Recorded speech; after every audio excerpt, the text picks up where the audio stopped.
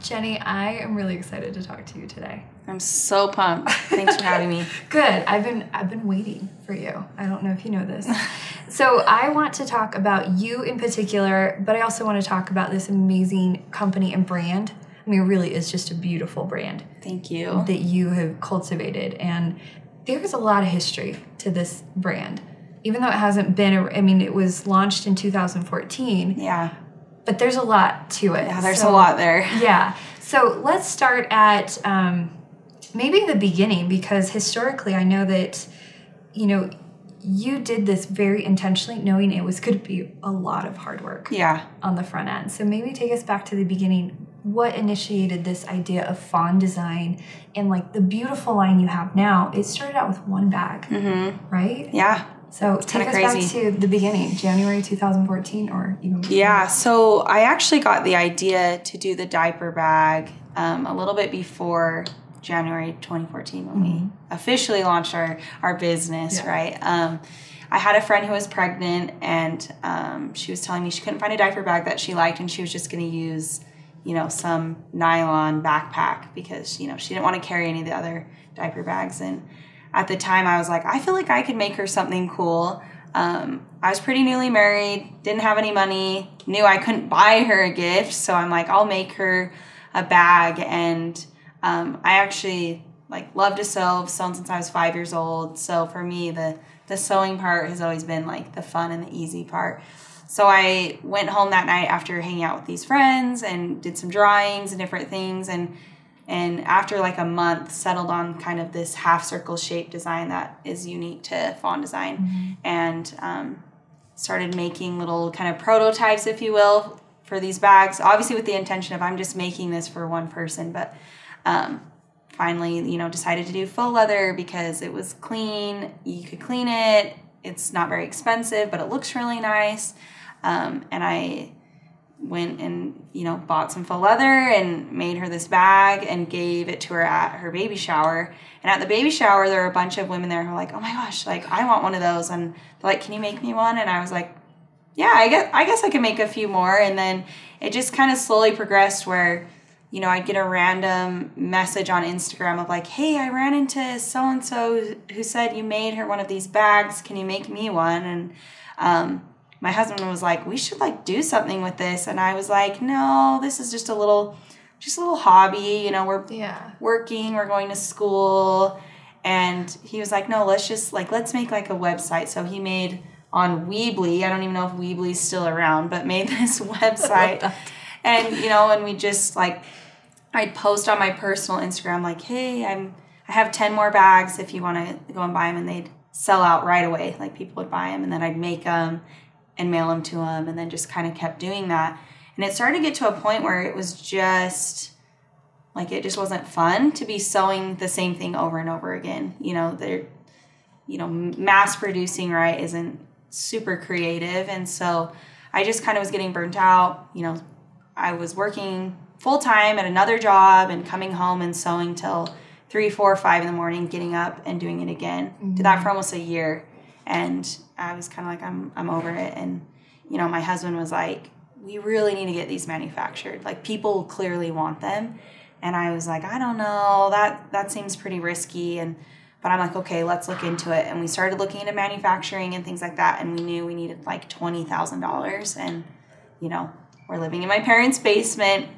I barely found out I was pregnant. So to find twenty thousand dollars. Yeah, no way. Short period of time. And I remember, you know, we went into a bank to be like, is there any way we can like get a loan? Like, I've made like a hundred bags. this is what we've sold, and they were super nice, but they're like, no, like you don't have any sales. So we were kind of like, well, what do we do? So we took out like five credit cards and we're like, okay, well, we'll put, you know, this much money on this one, this much money on this one, and we had kind of a moment where we're like, this is actually like really irresponsible. We're about to bring a baby in the world with like $20,000 in credit card debt, living in my parents' basement and so we we were like, why don't we try Kickstarter? Like why don't, you know, we I didn't know a ton of a ton about it. Um, but we were like this could maybe be a good route, right? Where we can say the money we need, sell bags as a pre-order, Mm-hmm. and then if enough people don't buy it, then we don't we don't take any of that risk and they don't lose any money.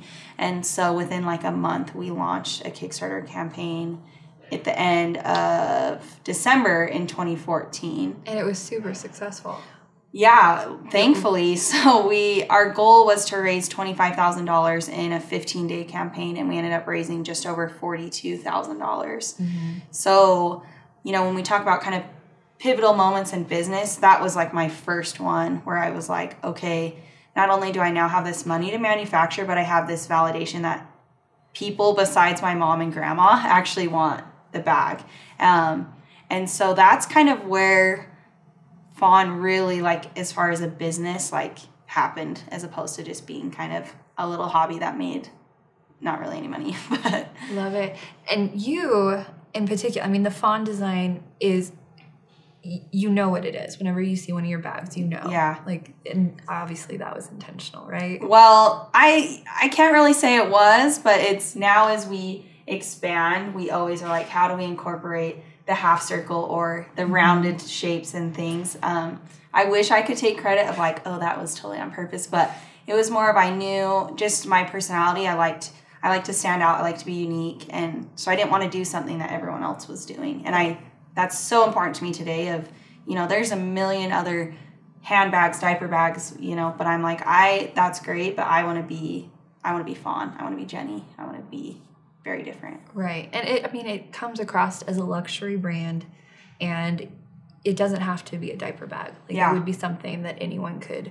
To, could wear around. Totally. It would be very functional. I mean, certainly with all the pockets inside and just the the way that you've organized that. yeah i love hearing that because we look, part of the you know kind of design process then now as we refine things. We we don't really even call it a diaper bag as much anymore because we have so many customers who don't have kids or who are out of that stage of life and they just love that it's uh, it looks nice. They're not paying through the nose for it but it has all the function and cleanability that you'd want in a diaper bag which then makes it a great diaper bag too Yeah. So moving into this, I mean, it was a happy accident, really, Mm-hmm. is what you're telling me. But you did have aspirations. Um, at one point, you dreamed of being either a fashion designer or a paleontologist. yeah I don't. I don't know how. quite a contrast Yeah. there.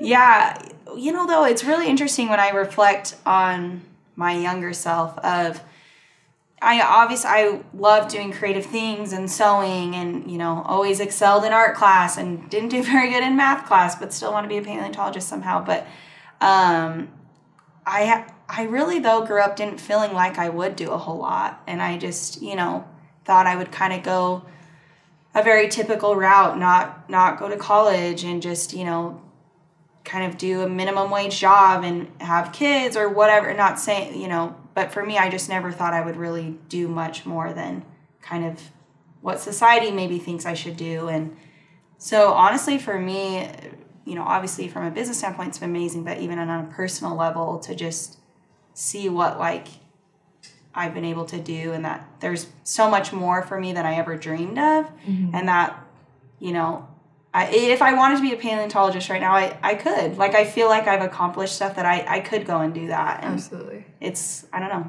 it's really nice to to have that Yeah, it's this nice mix of you went where kind of like you were going with the Mm-hmm. flow, but it was also at some point. I mean, you you turned into this this business mind. Yeah. Because I know we work with you here and we have Mm-hmm. a team, and so we're we're a huge fan. Like we talk about Fawn Design, just it's such a beautiful and fun brand to design with, to just to be creative around. But then they talk about you in particular, how you are dialed. You know your craft. And to go from, well, I wasn't ever planning on maybe launching a brand to like, you know your stuff. So maybe for those watching this and thinking, well, I might have a good idea, or, but maybe I'm, I'm not, I don't consider myself this business mind right out of the gate. Like, what was your process for getting there? I think it really took uh, obviously a lot of time and really just I do a lot of ref- reflecting, right? Where I that's why I like doing things like this where I can talk about fawn design in 2014 and you know fawn design right now because it's obviously so different but to look at the growth as a business and as a person, but to always keep going back to that, to like remember your roots, remember why you're doing what you do.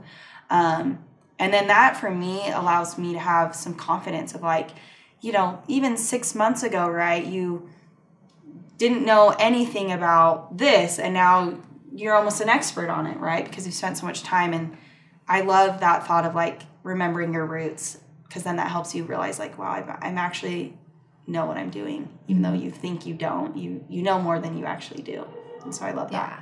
We were just talking about that yesterday, the part where like the more information you get, the more you realize like what you didn't know previously, and that keeps you so aware Yeah. of always scanning and like learning. So, how do you absorb new information? I'm really big on first of all like setting your intention for the day. Like I'm a big believer in meditation and journaling and that sort of thing. Um, the Miracle Morning, I feel like everyone's read that. Yeah. But it's but that like when I read that book, you know, a few years ago, I, it like hit me like a ton of bricks of like you have to set your day on on how you want to do the day, you know, and how and to manage the chaos. And so that's one way that I feel like it like sets the tone and then allows me to have conversations with people that are smarter than me and instead of just being kind of like falling asleep and but like taking notes and I'm a big note taker. I'm always have a notebook or my phone and I'm constantly writing down things people are saying to me and going back and reflecting on them in that time where I'm maybe journaling or whatever. But obviously big with podcasts and just books. I'm I'm one of those people I'm like I'm a sponge. I just like want to learn everything. And I've actually decided um, to go back to school. I never finished college, which my husband's like, so when are you planning on doing that? And I'm like, I'll figure it out. Yeah. I'll find time. And he's just he knows though. Don't get in Jenny's way because she'll she's gonna do what she's gonna do. So, but that's to me is I'm like I just want to learn everything so much. But I think taking that time to really take notes, but then process everything, and then then try and make a plan of action to apply it. Apply it. That's like super. Like I try and kind of go in that um, stage, but you know, it's not. I'm not perfect, but I feel like the more I'm willing to take that time to actually listen to people, write it down, and then process it, like you end up learning some new tricks and being just smarter and more educated. Yeah, being open. Um, I do the savers. I've done the savers, Yeah. Miracle Morning, uh, for years. And while I've talked to a lot of, you know, thought leaders, they all talk about their morning routine. Yeah. They may not talk about like Miracle Morning. I think sure. you're the first who's mentioned Miracle Morning. Really, Morning. but I'm we like, all read it. We all let's I think honest. we all read it. Yeah, it's out there. But like those morning savers, that's where I I know I'm just super dialed if I Yeah. just do that and create that habit. Now, in terms of you've grown a ton. I mean, Fawn Design, it's it's such a social brand. Like your Instagram following is huge. Um, you get a lot of engagement there. But what were some of the hiccups along the way?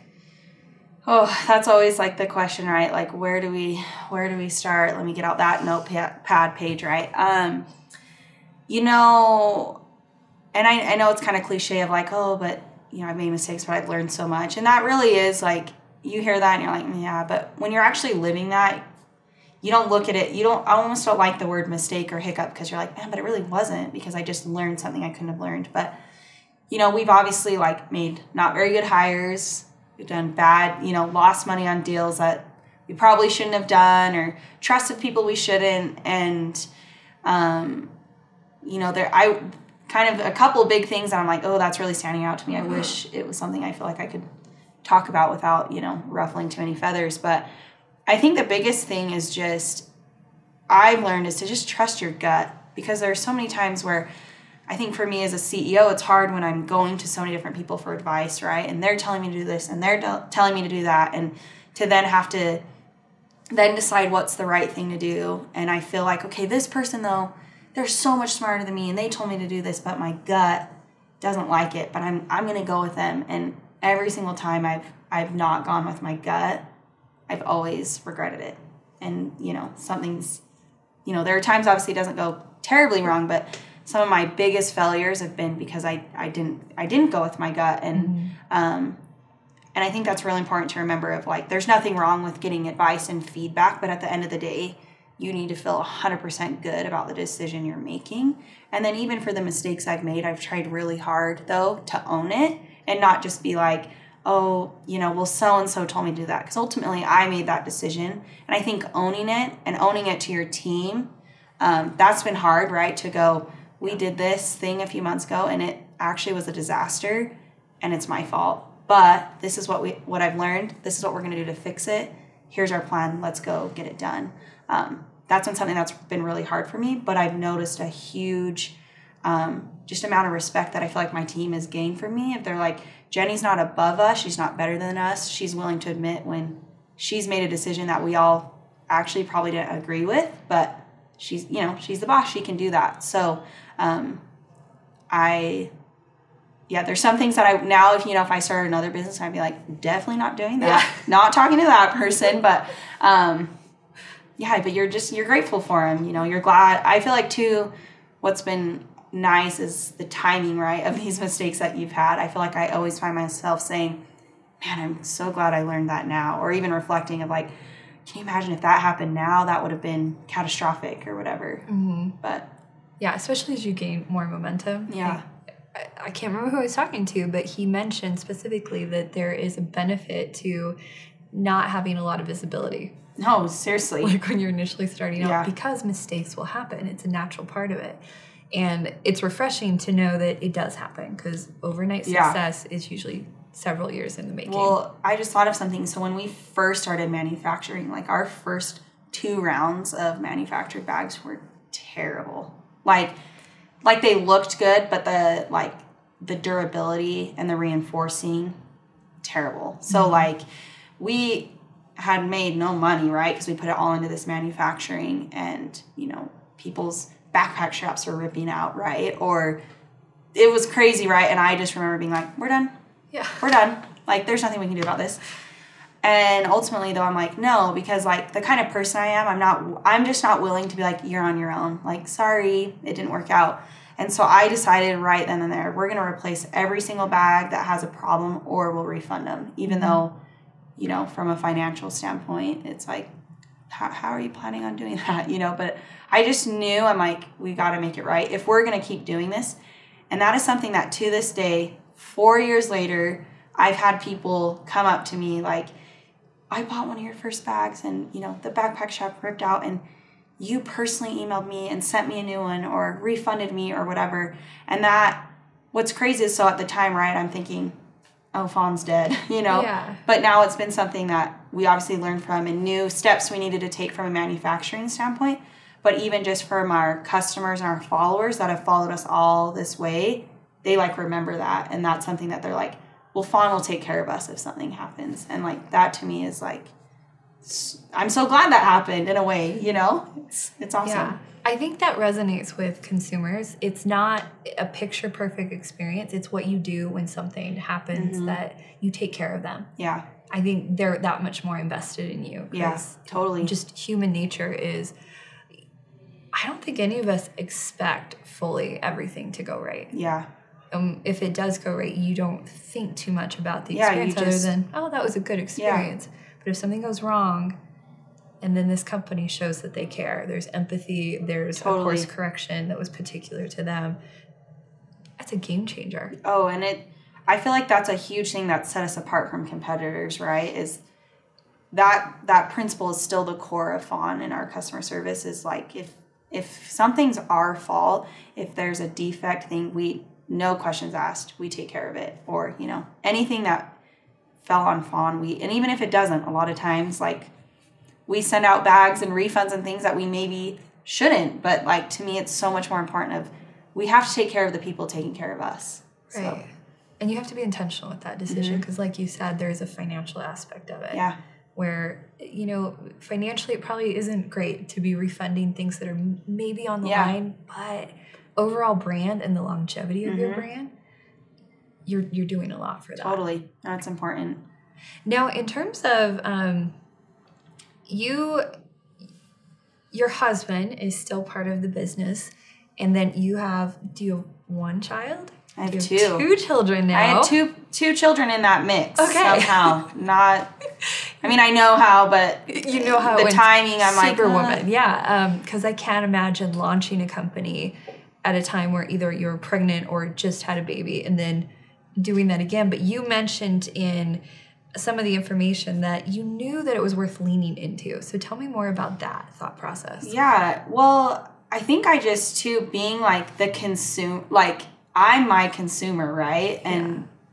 so it's also like I look at the time of like, oh, I had these two kids and it was crazy, but I also think it was so essential to help me know where I needed to take the brand and the things I needed um, needed to do. Um, but yeah, I yeah I look back at those times like how like when were we doing that? And it's actually it's interesting because so my husband started it with me. We both were kind of working. He then quit his job to come on and work with me. I think that was probably around three years ago, and that was like a huge like, oh my gosh, we're gonna lose insurance. But we we just we just knew that we're like, we'll figure it out. Even if it doesn't work out, we'll figure it out. Um, but that was a scary step for us, obviously, and we just had our our first child, and she was like two weeks old, and he quit. Um, but once we did that, though, we I feel like our growth just like just crazy overnight, literally, because I was finally giving stuff for him to do so that I could focus on the brand and the social media and not be shipping orders or doing things like that. Um, but it obviously was totally super scary. But then we got pregnant. Um, I don't like to say on accident because obviously that's not how it is, but unplanned, right? A little of a surprise. And kind of at that moment, I was like, well, ha- now we have two kids and this business.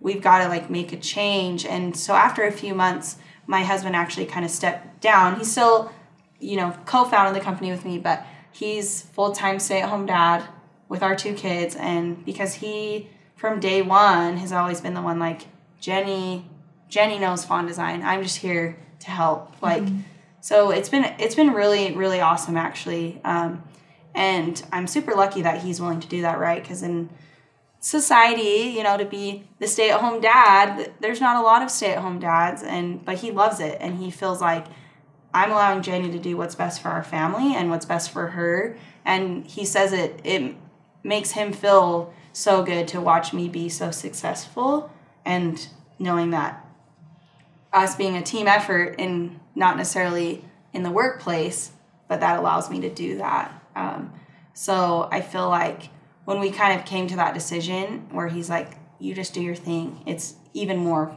more growth, just more than I ever imagined. And so kind of even going back to that, seeing my potential, that was really one of those moments of like, man, I I really do know what I'm doing here. Mm-hmm. Like, you know, other people around me see it. I just need to like look in and see it it is so interesting and really cool because I've interviewed quite a few thought leaders and like masters within their field, and many of them have mentioned the support of their significant mm-hmm. other as being pivotal. It's either they're they're stay at home yeah. parent, but then they're also that sounding board oh, yeah. and that advisor and that that perspective that's kind of opened because it's mm-hmm. not as involved in the daily activities of maybe the workload that's been really valuable. And we interviewed Karen Peterson. She's the CMO at Brainstorm. Oh yeah. And she said I never expected to be same situation where her husband decided to be a stay-at-home dad. She said I this wasn't planned. Yeah. You know, it was never part of the plan, but it was this this circumstance that now we're looking at it as perfect. No, yeah, truly. For our situation, but it's that same. It's like she's like that support is just as important as my team here at the companies that mm-hmm. I'm running. Yeah, we always we say in our house, you know, when one of us maybe is like, "Oh, I'm sorry, I like dropped the ball in this or that," and we always say we're a team. We have the same goal, even though we're doing two different things. If you don't if you don't take care of our kids, then I can't go to work and do what I need to do. And if I don't go to work, we can't pay. You know, it's just as very much we try and remind each other not one of us is above the other. We're just as essential and we are a team. We stayed up last night till probably midnight talking about, you know, work stuff, family stuff, but ultimately at the end of the conversation, we're like, I'm so glad that we, like, this is our team and this is what mm-hmm. we're doing. Yeah, like the CEO of the family. Yeah. It, I mean, it really is a thing.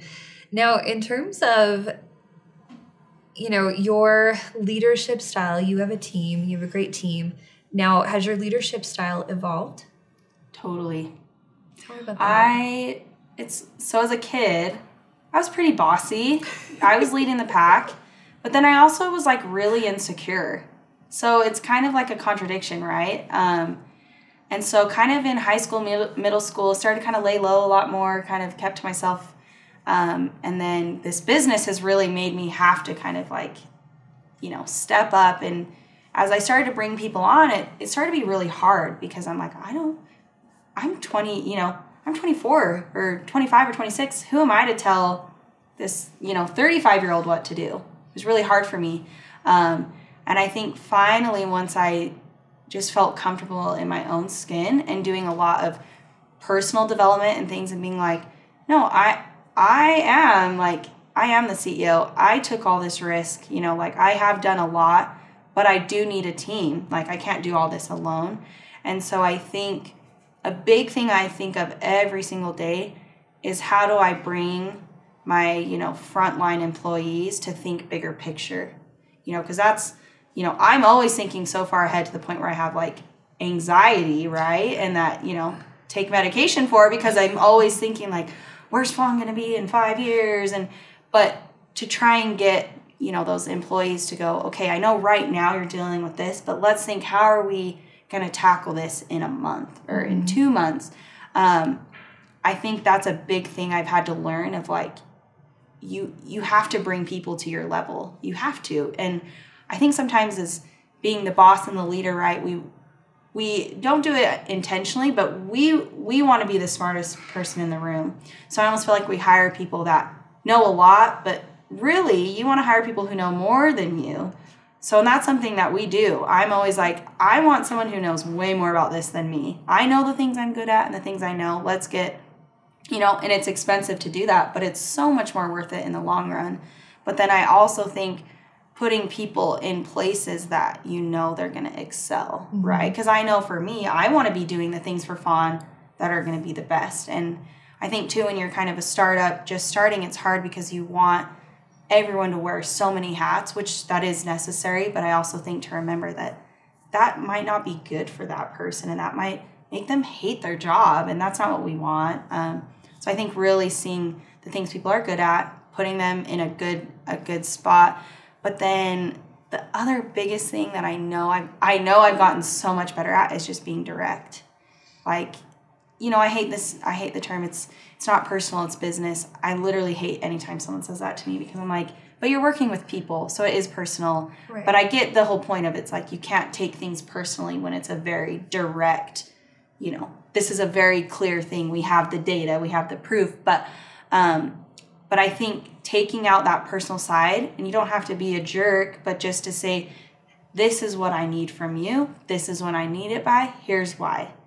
And that why thing, you know, some people are like, well, I don't need to tell people why. But I know for me, when growing up, when someone would, you know, my dad would say, you know, you have to do this, Jenny. And my my reply would always be like, well, why?